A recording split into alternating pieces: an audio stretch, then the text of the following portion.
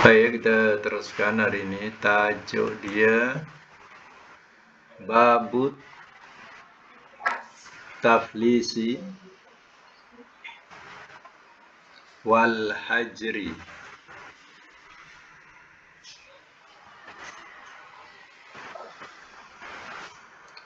Babut Taflisi Wal Hajri. Bab bankrupt dan tanggungan.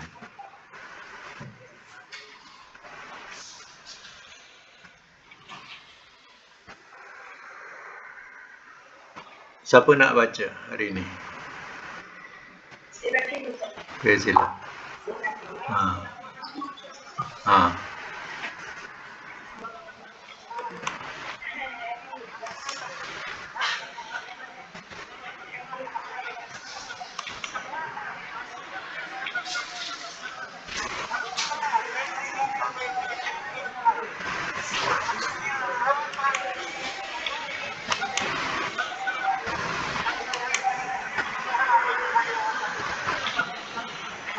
Hmm.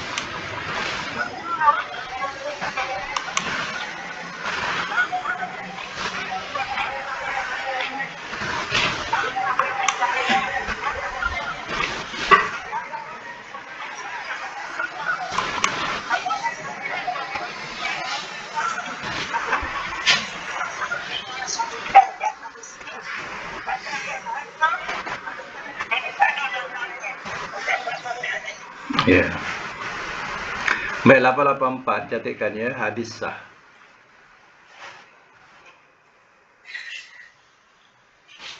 Hadis sah. Matan dia. Orang yang mendapatkan barangnya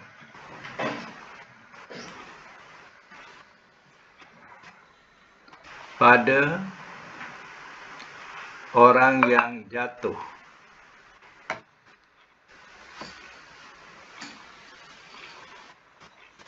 Dalam perdagangan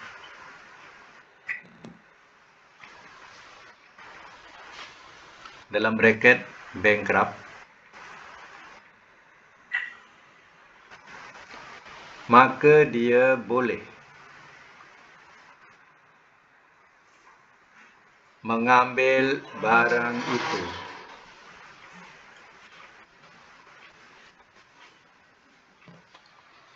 Hukum sebagai satu ketentuan.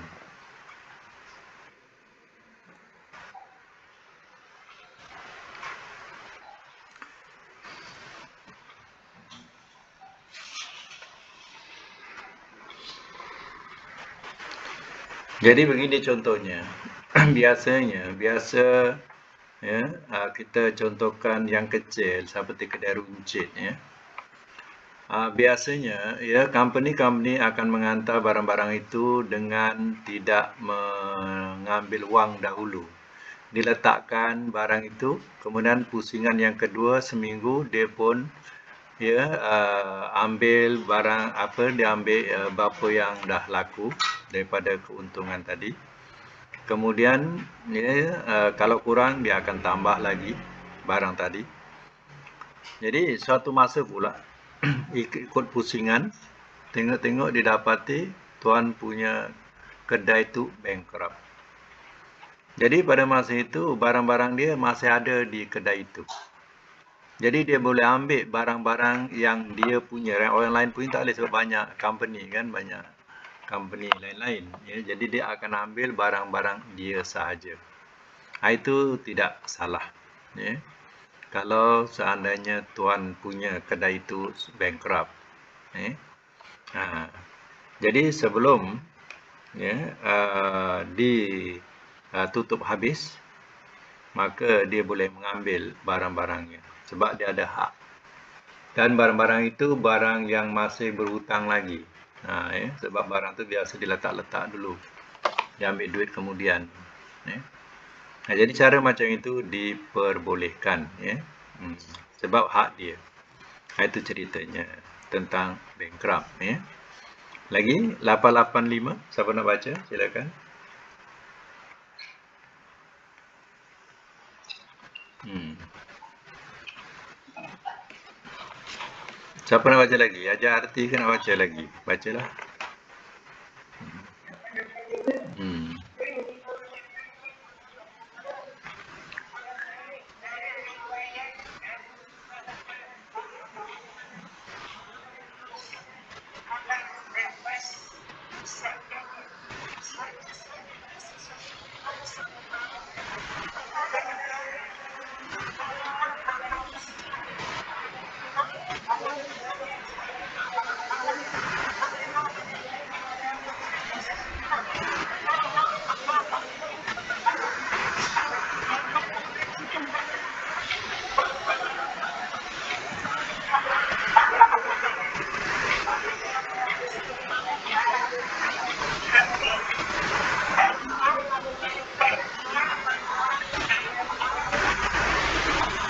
Ya. Catatkannya 885 hadis boleh dipakai. Matan apabila pendagang, apabila pedagang itu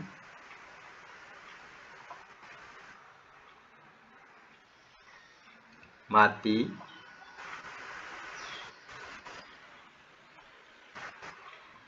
maka barang-barang yang ada di kedai dibagi-bagikan kepada yang memberi hutang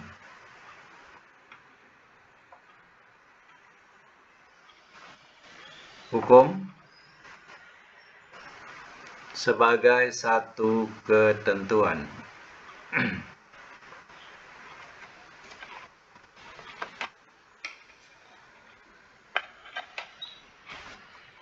Baik. Sekarang ini tokoh kedai tadi meninggal ceritanya. Waris tak sanggup nak meneruskan. Tak minat nak meneruskan ya untuk uh, berkedai tadi. Jadi barang-barang masih penuh dalam kedai itu. Jadi pihak waris hanya menunggu supply-supply datang. Okey, contohnya bagian susu dia datang ambil susu-susu yang ada dia punya. Sebab hal itu masih berhutang lagi. Ya. Ha. Kemudian bagian tepung, maka ya supply tepung dia pun ambil lah tepung dia yang baki. Ya. Dan begitulah yang lain-lain itu dijadikan rebutan. Mana masing-masing akan mengambil bagian masing-masing. Jadi pihak waris ya kena jagalah jangan sampai orang curi. Ya, maknanya kena uh, kunci ya, dia punya kedai itu dan tunggu supply datang. Ha, supply datang akan ambil balik, balik barang dia. Kecuali kalau waris nak meneruskan. Ha, tak mengapalah. Nah, ya. Hmm. Itu cerita hal ya, barang dagangan. Sama ada uh, si apa ni tuan punya tu bankrupt atau tuan punya itu meninggal. Baik lagi. 886.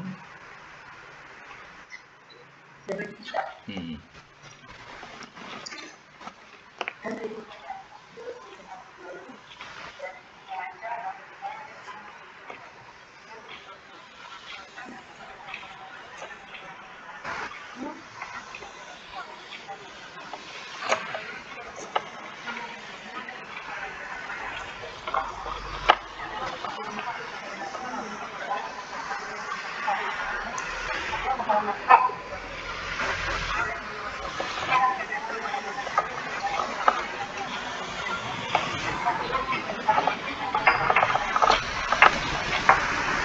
Okey, kita teruskan hadis 886 catatkan. Hadis lemah. Matan orang yang sudah mati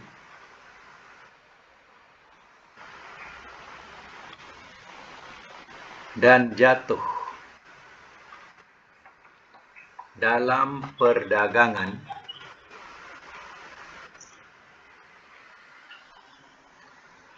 maka kedudukannya. Maka eh, apa ni? Kejap. Sama tadi. Jatuh dan dalam perdagangan sama kedudukannya.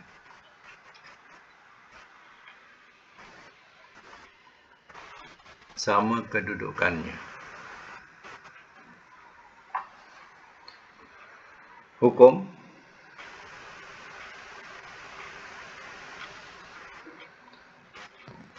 Orang yang, ah, ini hukum ya, orang yang jatuh dalam perdagangan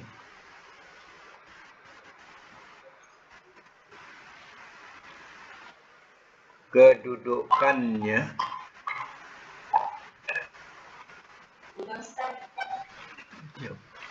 Hmm.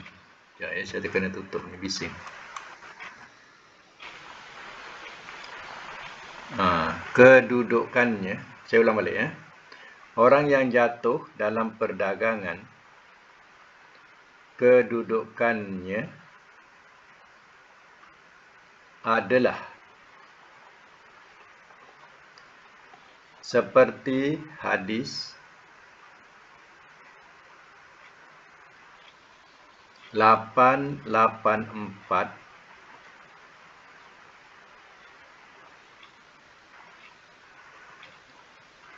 dan yang mati seperti hadis. 885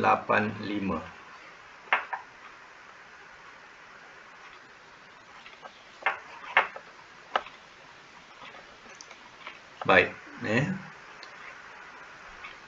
Macam barang-barang ni dia mempunyai tarikh mati ya Ha, contohnya uh, uh, susu, dia biasanya dia tidak boleh, dia ada satu tarikh yang dia sudah luput.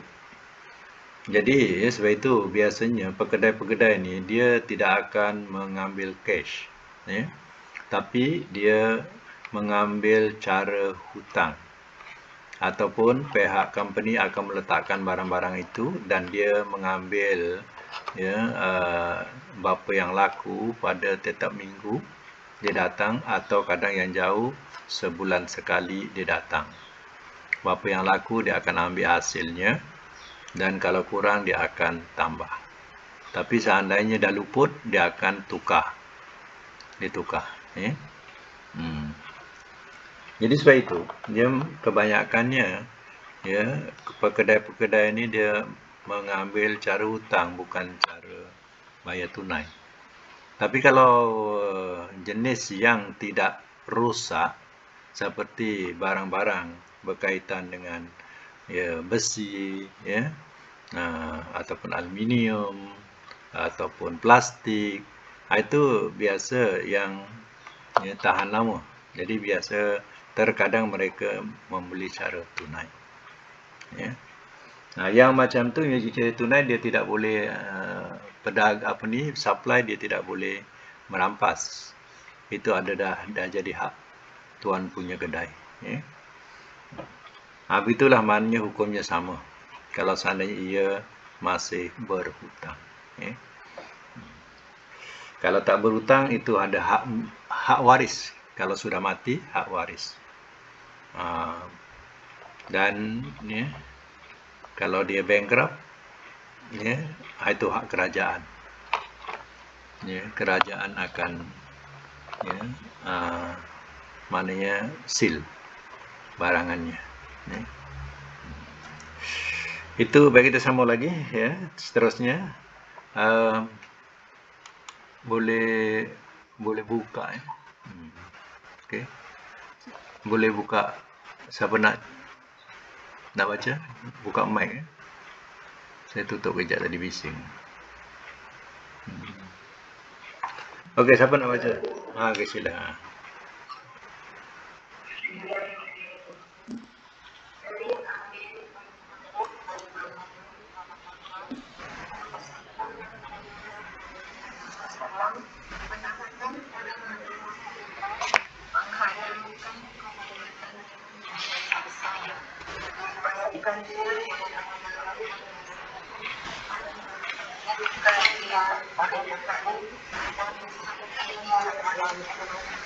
Ya. Catikan 887. Ya 887 hadis sah. Matan orang yang mampu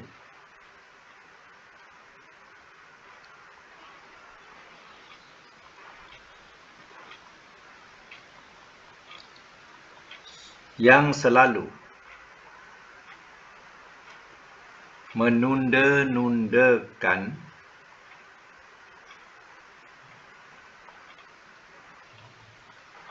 Pembayaran. Hutangnya.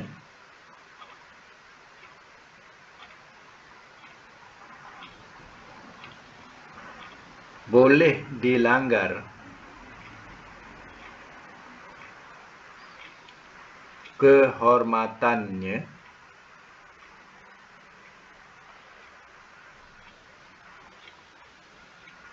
dan boleh disita.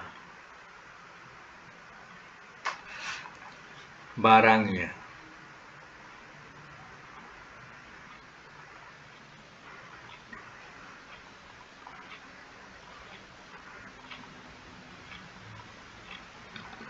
Hukum.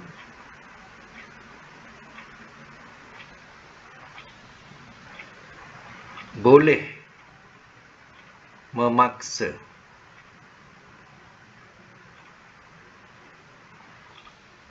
boleh memaksa orang kaya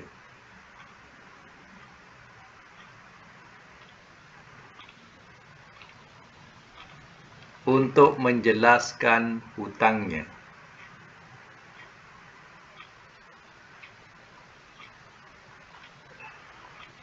Bila dia enggan.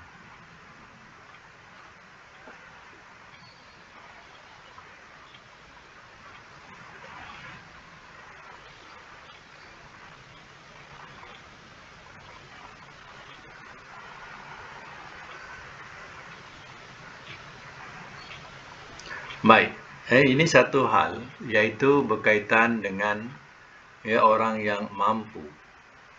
Tetapi dia ya menunda-nundakan hutangnya. Sedangkan dia ada kemampuan. Ya, apa yang kita dapat uh, perhatikan biasanya ya yang jadi mangsa gorento. Gorento ni dia tolong orang. Ya, Ha, jadi bila ya orang itu ya, dah boleh berdikari dan dia didapati ya dah senang lenang. Tapi dia tidak mau bayar hutangnya. Ya dan yang kena gorento banyak gorento jadi muflis. Bila muflis tak boleh nak berjalan ke luar negara. Ha, jadi kesian kadang ya kita tengok. Dan orang yang di ya bantu dulu didapati mereka ya senang lenang. Ya sudah kaya raya. Tapi ia buat tak tahu. Ya dengan hutang diminta pun buat tak tahu. Ya. Ha, ini adalah satu kezaliman.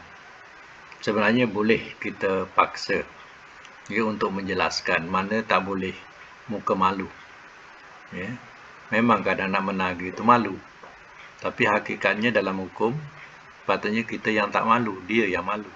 Ya? Ha, macam tu. Ya? Ha, begitulah apa yang berlaku terkadang ya, yang kita dapat lihat. Ya? Ha, jadi kadang kesian. Ya? Ha, jadi gerintu-gerintu ni kesian. Ha, dia jamin.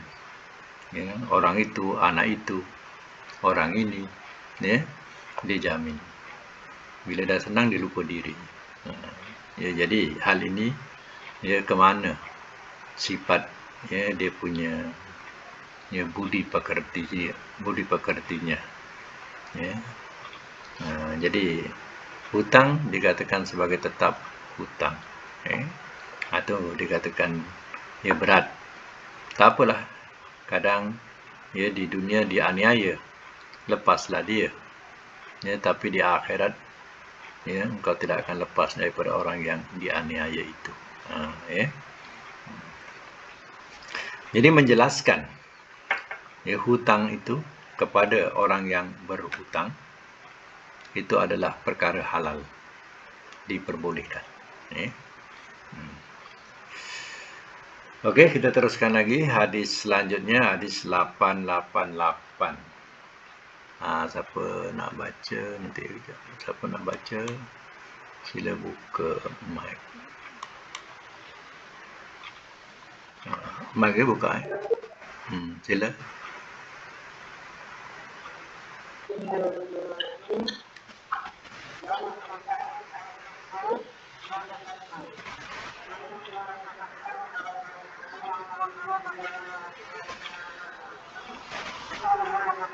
you.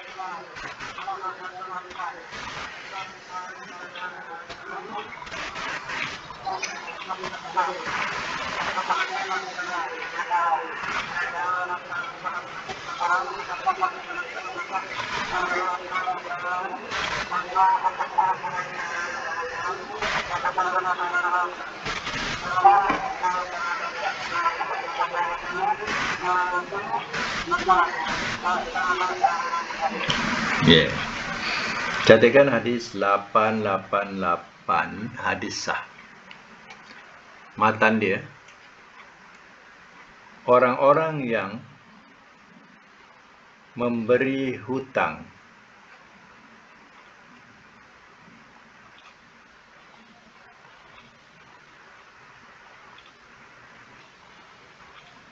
dalam bracket pedagang yang bankrupt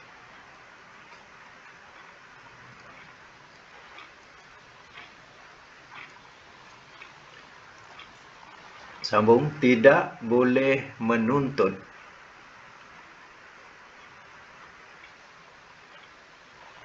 Lebih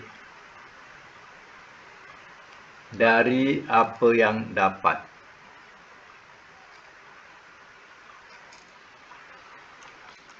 Hukum sebagai satu ketentuan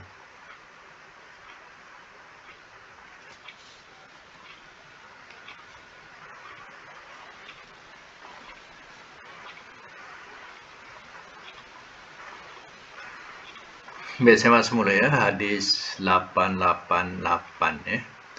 Seseorang yang jatuh bankrupt maka ia hanya berkewajipan mengendalikan hutangnya sebanyak baki barang yang dimilikinya. Apabila barang-barang baki yang dimilikinya tidak cukup untuk membayar hutang, maka pemberi hutang tidak dapat mengambil barang lain dari orang tersebut. Jadi al-kisahnya ia diceritakan di sini adalah seorang yang mendapat kerugian dalam tanaman buah-buahannya. Jadi ya dia sudah menanggung hutang. Dia menanggung hutang. Maka sehingga Rasulullah SAW melihatkan ya mereka itu susah benar. Ya, memang dalam keadaan susah benar. Jadi orang pun disuruhlah orang bersedekah kat dia. Maka orang pun bersedekah. Tapi bersedekah pun bolehlah lepas makan. Tapi hutang tak dapat bayar. Ya. Akhirnya dia tertekan dengan hutang itu. Jadi Rasul berjumpa kepada orang yang memberi hutang. Lalu dia katakan kau ambillah barang yang apa yang ada pada dia. Ya, dia dah tak ada apa lagi lah melainkan itu. Kalau ibaratnya lah dia hanya ada motor contohnya ha, ambillah motor tu ha, macam tu lah contohnya ya. ha, dia tak ada lain melainkan itulah ya yang ada. Ambillah. Ha. jadi macam itulah keadaan. Kalau orang yang jatuh bankrupt mana tidak boleh dipaksa lebih daripada yang mampu.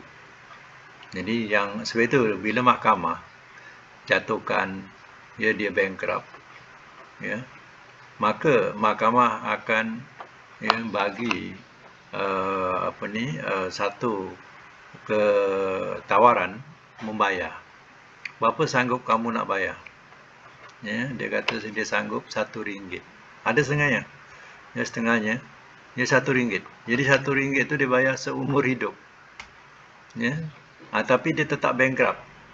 Ya ha, Ha, jadi artinya dia ya, lesen bankrupt tu ya, sampai bila-bila. Selagi dia tak bayar hutang, dia tak habis bayar hutang tu, ya, dia tetap tergantung dengan kebankruptan. Jadi bila bankrupt ni maknanya macam-macam lah hal dia tak boleh buat. Ya, nak ambil lesen tu tak boleh, nak ambil lesen niaga ya, dan sebagainya tak boleh. Apa lagi nak pergi ke luar negara. Ya. Tapi di Malaysia ni kecuali pergi umrah atau pergi haji ha, itu dengan izin kalau keluarga dia bawa tapi pergi lain tak boleh hanya haji dan umrah saja boleh ya ha, dengan minta ada keizinan dengan ke, dengan keizinan. Ha, baru dia boleh. Ha, yang lain dia tak boleh.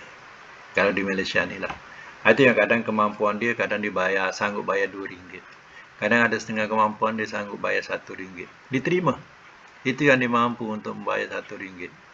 Maka pihak yang memberikan hutang dia tidak boleh menekan apa lagi. Sebab itu keputusan mahkamah. Ha, jadi selama dia eh, tak payah habis, selama itulah dia disenarai hitamkan sebagai bankruptcy. Ya. Hmm. Okey, kita teruskan. Uh, 889. Siapa nak baca 889 Ha, sekejap ya Saya buka Ha, siapa nak baca, buka Boleh buka. Mic.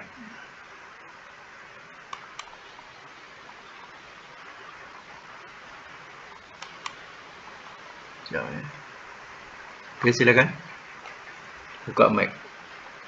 Mic tu tekan. Yang nak baca.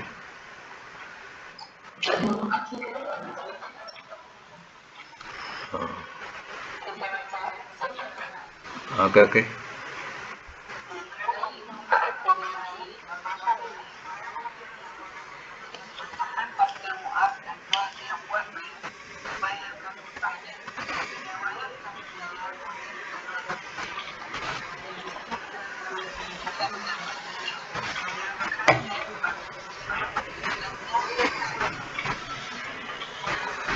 Okey.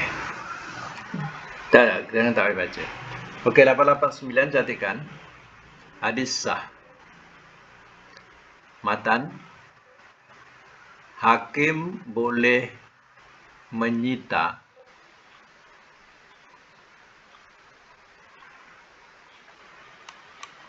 Hakim boleh menyita barang seseorang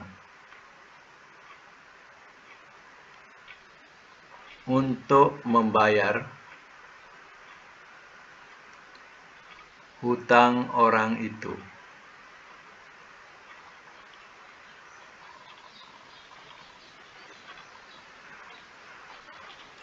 Hukum mubah.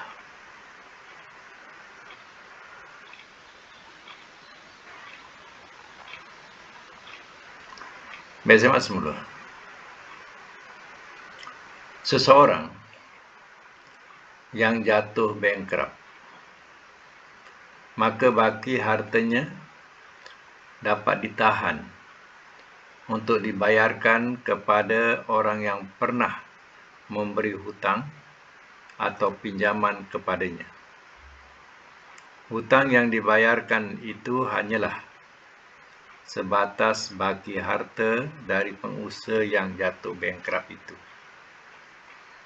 Dalam riwayat disebutkan bahawa dari baki harta Muaz yang bankrupt itu kemudian dijual oleh Rasulullah SAW dan dibayarkan kepada orang yang pernah memberi hutang kepadanya. Dan yang terbayar hanyalah 5 per 7 sahaja dari hutang Muaz kepada pemilik itu. Mana tidak dapat habis. Ya, walaupun barang itu sudah dijual tapi tak dapat juga membayar habis hutang itu. Jadi ya yang baki itu ya dia tidak boleh paksa. Ya berapa yang dia sanggup nak bayar lagi biarlah terima. Ya, dia tak ada tak sanggup lagi lebih daripada itu.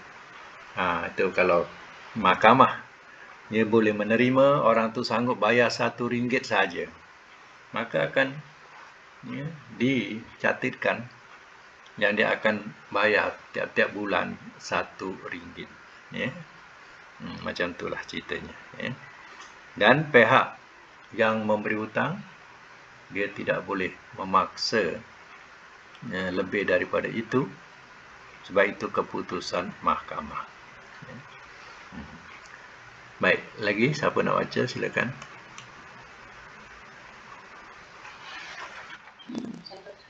Sila.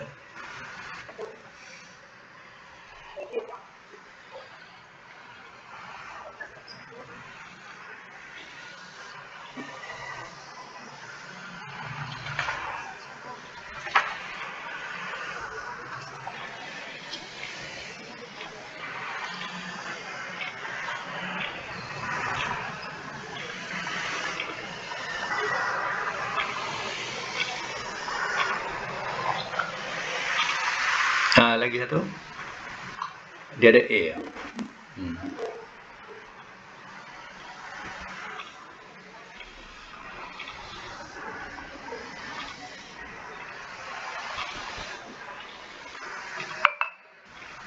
ya baik. Cantikkan ya.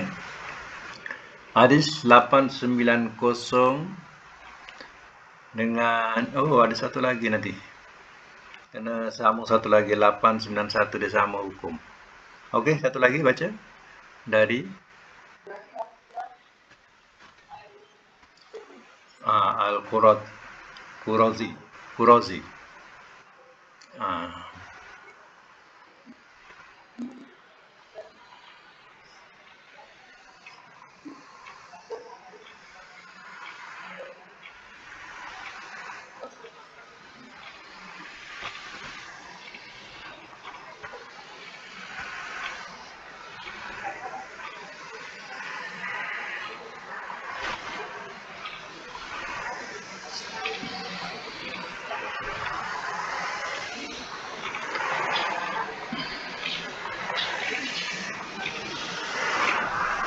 Nah, kalau bahasa dua syekh ni maknanya uh, Bukhari Muslim ya. Uh, itu dua syekh. Ya. Uh, dua syekh itu mana Bukhari dan Muslim. Uh, kalau bahasa dalam hadis Sahih Haini. Uh, Sahih Haini dua syekh. Uh, maknanya dua syekh itu hadis riwayat Bukhari dan Muslim. Ya.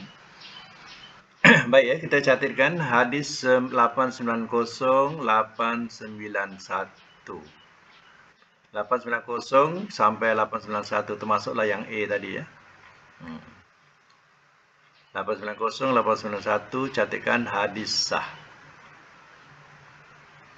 Matan yang boleh dibankruptkan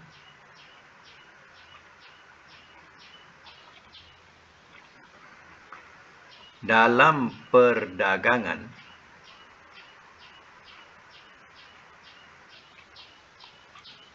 ialah pedagang yang sudah balik.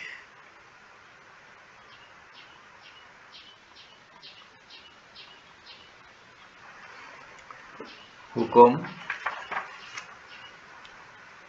sebagai satu ketentuan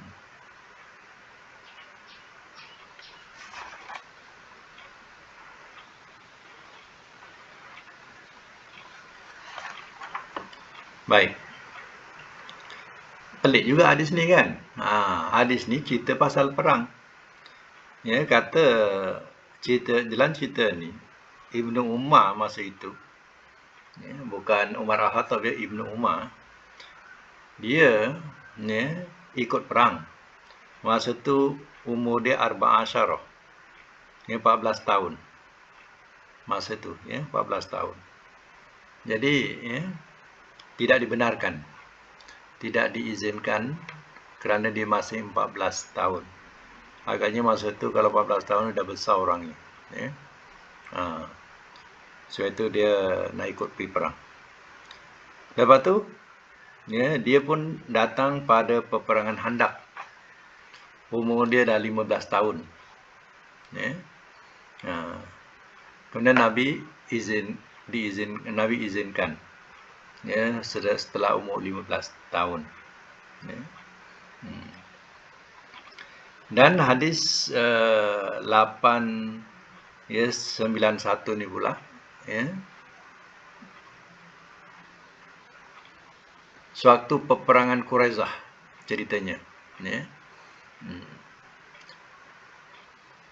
masa itu ya diterangkan katanya ya Uh, musuh-musuh uh, yang sudah tumbuh ya maka ya boleh dibunuh. Tapi yang belum tumbuh ya tidak boleh dibunuh. Dia belum balik ya. Ha, apa yang makna tumbuh di sini? Makna di sini ialah ya tumbuh bulu ari-ari ya. Ha, mana itu tanda dia sudah balik maka musuh tu boleh dibunuh. Ya. Ha, dalam peperangan. Tapi yang belum tumbuh ya ha, itu masih dikatakan sebagai kanak-kanak. Dia tidak dia dia akan dibebaskan. Ya. Ha, itu mana tumbuh. Ya bahasa tumbuh situ ya. Mana tumbuh. Yang bulu hari-hari yang dimasukkan. Yang mana kena periksa? Ya diperiksa musuh tu. Ya. Dewasa ke tak dewasa ya ha, baru boleh dibunuh ya. ha, macam itulah jadi berkaitan ha, di sini berkaitan dengan perang. Apa pula kena dengan pedagang? Jadi rupanya hukumnya diambil tentang balik tak balik. Jadi orang yang dihukum bankrupt kalau dia sudah balik. Ya kalau tak balik tidak boleh dihukum sebagai bankrupt. Macam contoh 18 tahun tempat kita lah dia 18 tahun ke atas sudah dihukumkan hukum dewasa. Ha, mana dia sudah me, dia akan dapat hukuman macam mana hukuman seorang dewasa. Tapi kalau di bawah umur atau yang masukkan sekolah lah, ya dia tidak sampai dihukum bunuh, ya. Ha, kadang dia di penjara, ya. Ha, penjara tu seumur hidup, contohnya dia tak di tak di tak digantung. Patut dia sekali dewasa dia kena hukum gantung contohnya. Ya kerana dia masih kanak-kanak dia di penjara seumur hidup. Ya seumur hidup tu maknanya kalau dia umur dia uh, 13 tahun uh, dia masuk penjara 13 tahun lah. Atau sekolah sekolah. Ya sekolah ya untuk orang-orang budak-budak jahat ni selama 13 tahun. Ya uh, dia pun keluarlah Ha, itu makna seumur hidup. Hidup, hidup dia kan 13 tahun. ya. Hmm. Itu di ya, bahasa seumur hidup. Ya. Hmm.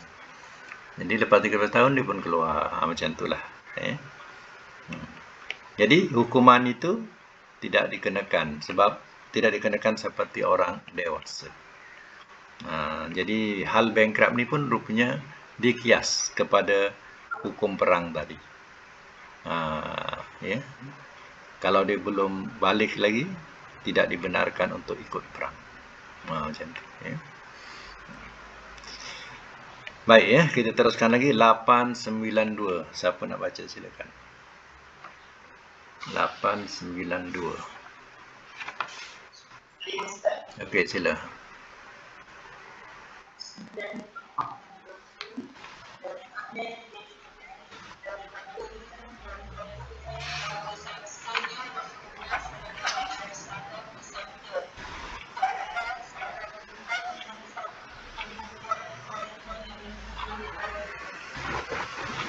Eh, satu lagi. 892A. Hmm.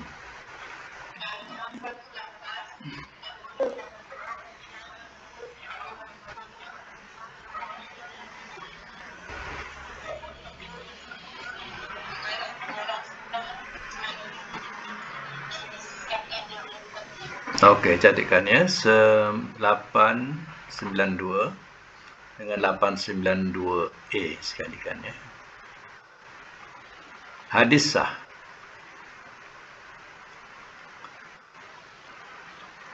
Matan barang isteri yang diserahkan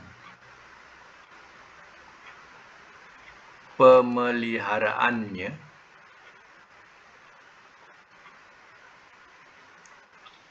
kepada suaminya.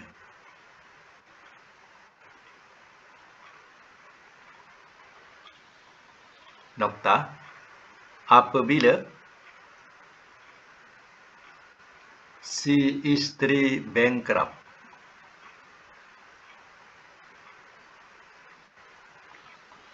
maka barang itu tidak boleh disita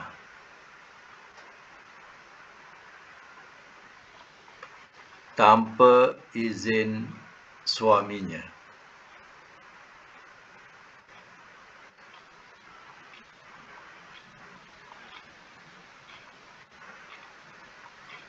Hukum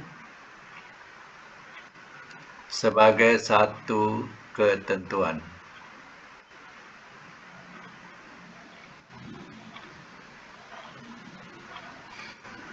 Baik ya. Uh, saya mak semula. Ah, ini yang berlaku kepada kebiasaan ahli-ahli peniaga. Ya. Harta tadi dinamakan isteri, kalau suami punyalah dinamakan isteri, dinamakan anak-anak, ya.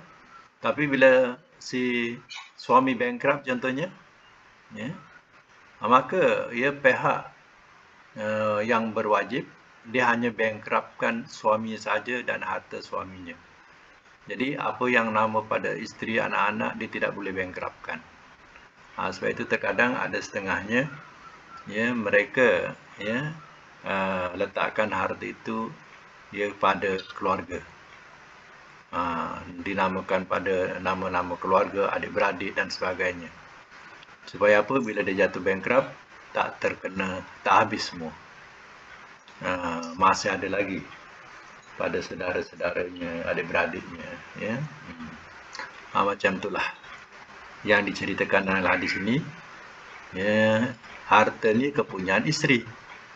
Tapi isteri ni bankrupt ya ha, tak tak ni harta ni kepunya isteri ni sebagai peniaga jadi suaminya ni yang pegang harta ya isteri maka bila isteri bankrupt ya orang tidak boleh rampas harta suami dia ha, macam tu ha, tu ya sebab itu dah ya dikatakan hak suami dia ha, bukan harta dia Ha, jadi dia boleh bankruptkan isterinya tapi tidak boleh bankruptkan suaminya. Ya. Hmm. Ha, macam itulah dia punya jalan hukum. Ya. Jadi hukum ni sebagai satu ketentuan. Ya. Baik, ada satu hadis lagi uh, bagi siapa tadi nak baca Nur Asmara tadi. Ha, silakan. Ha. Hmm.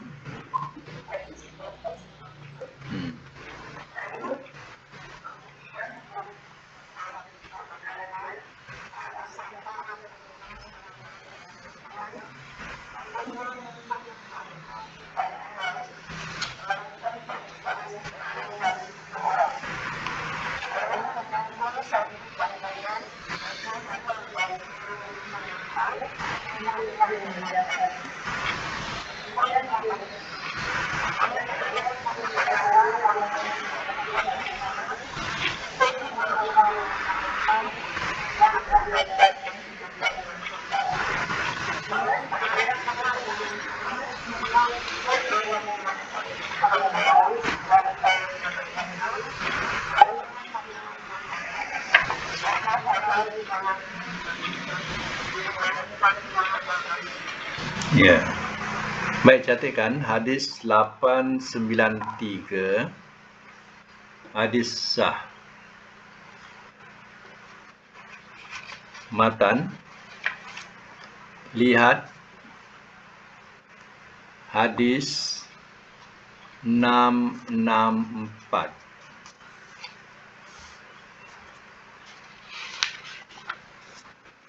hukum sebagai satu ketentuan.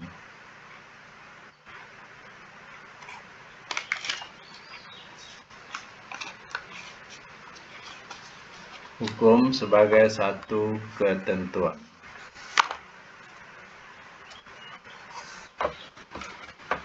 Baik, ya. Dalam hadis ini, ya, dapat uh, diambil pelajaran ya.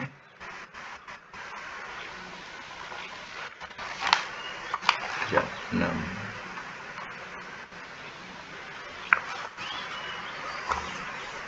Uh, diambil pelajaran yaitu ya ada tiga golongan yang dikatakan halal meminta-minta. Seorang lelaki yang memikul beban yang sangat berat, maka berhak untuk meminta-minta sehingga ia dapat melepaskan beban beratnya. Kedua, seorang yang ditimpa penderitaan berat sehingga sangat memerlukan wang, maka halal dia meminta-minta dan apabila dia telah memperoleh kecukupan, dia berhenti. Ketiga, orang yang jatuh menjadi melarat sehingga ada tiga dari tiga orang dari mereka yang benar-benar berfikiran sehat mengatakan si pulan tu sekarang ni sudah dia susah sangat. Ya. Susah makan pun tak ada. Sampai tiga orang yang berfikiran waras tahu. Ya. Ha, jadi maka orang seperti itu dia boleh meminta-minta. Ya, jangan ia dikira keadaan yang nombor tiga ni rumah dia besar ke apa ke. Ya mungkin dia ya uh, sudah jatuh atau perniagaannya jatuh ataupun dia main saham habis. Ya, sehingga dia tidak ada apa lagi. Ya, melainkan tempat tinggalnya. Ha, jadi pada masa itu orang pun cerita kawan-kawannya pun cerita si Pulan tu sangat susah sangat bolehlah tolong dia ha, contoh macam tu eh? ha, maknanya diperbolehkan eh? hmm. tapi hadis ini ya, uh, boleh disamakan dengan hukum hadis 664 ya? hmm, baik ha, 664 ni uh, boleh di kalau nak buat catatan saya uh, tulis tu boleh tulis baliklah ya 664 ni. Buat catatan hukum dia. Ha, okey boleh catatkan. Hadis. Silap ha, hadis sah. Kalau nak buat catatan sebab dah jauh sangat ya hadis sah. Matan dia menerangkan tiga macam orang yang mampu yang boleh meminta-minta.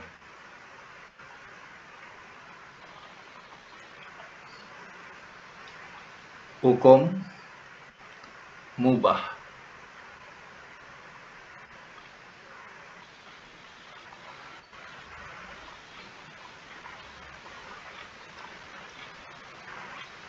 ada yang memberi paham begini. Yang tiga ni ya. Pertama orang yang dibelenggu hutang.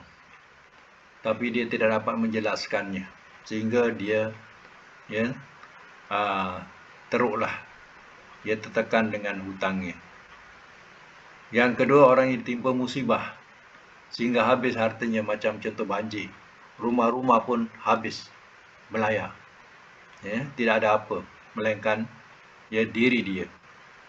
Ha, jadi orang macam tu boleh meminta-minta. Yang ketiga dipahamkan juga boleh disebut begini orang yang jatuh miskin. Sedangkan ya selain tiga golongan uh, di mana uh, orang yang jatuh miskin. Ya. Sehingga uh, ada tiga orang yang apa ni dipercayai dia mengatakan si pulan tu sekarang tengah susah. Memang dia susah sangat. Jadi dia boleh meminta-minta. Ya itu yang dihalalkan meminta-minta bagi orang yang asalnya mampu ya.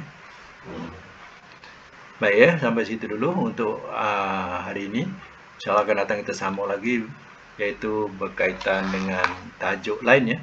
Babus sulhi babus sulhi nama dia ya uh, mana perdamaian ya sulhi ini mana perdamaian bab perdamaian Okey, sekadar itu dulu. InsyaAllah kita sambung semua. Sadaqallahul azim. Wa sadaqar rasulullah.